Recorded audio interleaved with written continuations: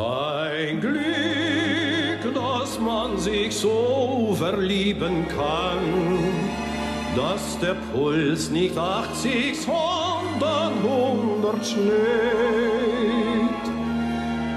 Man sieht die Welt mit anderen Augen an, weil man eine rosa-rote Brille trägt.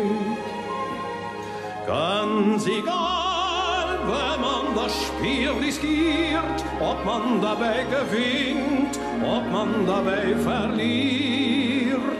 So oder so, wer zittert und wer bebt und nicht als Mann aufs Ganze geht, hat nicht gelebt.